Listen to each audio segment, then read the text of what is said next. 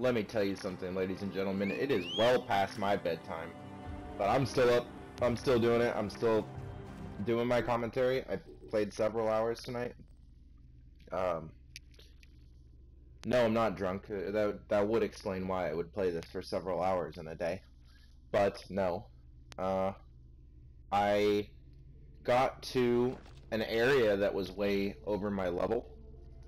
Crocodilopolis, which is a a really neat name for a place, and uh, went into a naval fortress and just started taking everyone out. But every fucking guard that wasn't an archer in that place could, could withstand a stealth attack. So I was just, it was chaos. It was total chaos. But I like flawlessly pulled off all the objectives. Proved to myself that I can pretty much jank the fuck out of this game. Like there is no, there is no need to really employ any skill here. Anyway, we're gonna check out the pyramids because pyramids are cool, man. You know, things should pick up. There's big hype around the pyramids in this game. Welcome back, Coolest Gamers Let's Play of Assassin's Creed Origins. This is uh, part 52. We're on our way to take care of Khaliset, the hyena, the hyena, which as it's known in Egyptian. But there are these pyramids in the way, and how could you pass up that those Kodak moments there? Look at that. We're back in OG times when you could actually go underneath the pyramids. Mm. I mean, you hear those chimes and shit? Like, that's scary. There are like spirits in there. This is legit. We're gonna climb it. We're gonna climb a fucking pyramid. You see that pyramid there? We can climb it.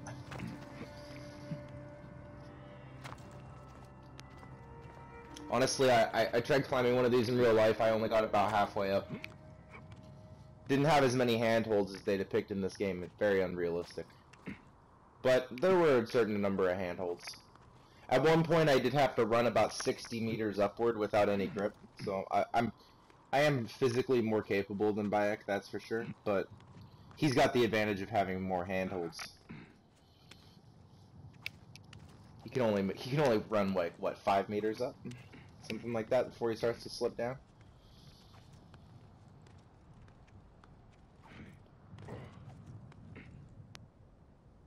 This, this thing is fucking massive. And to be fair too, I only climbed one of the smaller pyramids, but I mean they didn't have any handholds on this one, so you know I can't. I can only run 60 meters up. I can't run this fucking far up. I mean, every man has his limitations. I really just wanted to get to the top of this thing. This is actually where I stopped to film my Stranger Things 2 review, was at the top of this pyramid. You guys should go check out that video. Uh, you know, hear my opinions. You're, not going to like them, but, you know, go and check it out. This brings me back, really, you know? This is like two weeks ago or something. Back when I had a big side project. I, I haven't had any big side projects recently, like big videos to plan. Not that they would have very exciting footage. I can't seem to film fucking any images or anything on this PS4. It's bullshit. The only thing I can do is get in-game footage and edit it. Not that I do that for Let's Plays, but... Oh, we made it! Hooray! No, no, there's nothing to it. There's nothing here.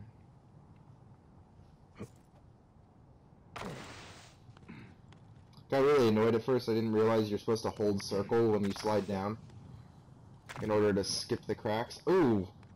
We just saw into the fucking pyramid worlds.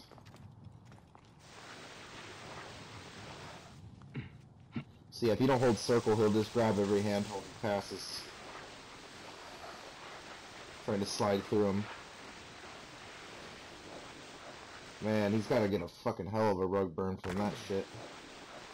I just, I literally just jump over them at this point.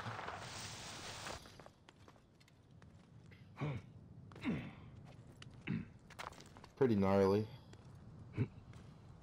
What would you guys rather do? Climb pyramid or fight a king cobra with a dull machete?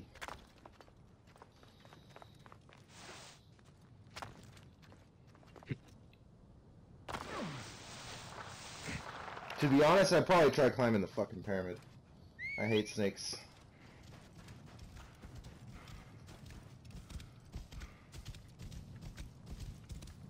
They could be aiming rifles at me and be like, yeah, we're gonna shoot you if you start to slip.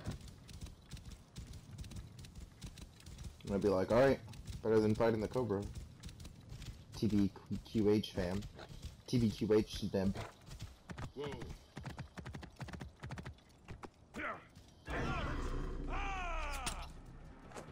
What the fuck?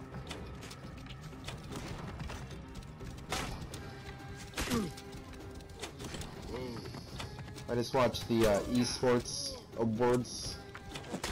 Watched the Dr. Disrespect acceptance speech when he was all fucking gin and tonic out of his mind. That was pretty funny. That guy's super inspiring to me. He reminds me a lot of Ethan Klein, that he talks to and addresses people who are dealing with emotional issues. And he really cares about his fans, like... He's like that mentor figure, you know?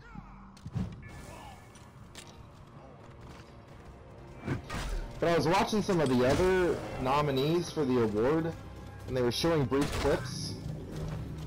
And it was just like people with normal personalities streaming, and I'm like, man, I would never subscribe to someone's Twitch channel, pay $4.99 a month or whatever, if they were just normal. Like, I don't know why that would be appealing to anyone. Thought I could break that shit. Like, the doc's where it's at. Like, there's no one but the doc. Because he actually puts on a show. Like, that's what I fucking... That's why I'm in the Slick Daddy Club. Uh, I guess the entrance is on the other side. Really just wanted to see what the pyramids had to offer, so I was gonna go into the first, the biggest one first. Um, so you guys will get to see what I've discovered Whoa. deep within the bowels of the pyramid. I actually thought that when you go into pyramids, you would be climbing up, and you would have like, um, decreasing floor space on each floor, and then eventually you're in like the grand sarcophagus, which is like the top part. Uh, that would have been dope. But you actually go down in a pyramid. I didn't know this. It's as if the pyramid is just one giant tombstone. So there's our entrance point, our ingress. Let's head in. Let's see what this shit has to offer. So uh, we're gonna be doing some cave exploring next time, Timmy. See you there.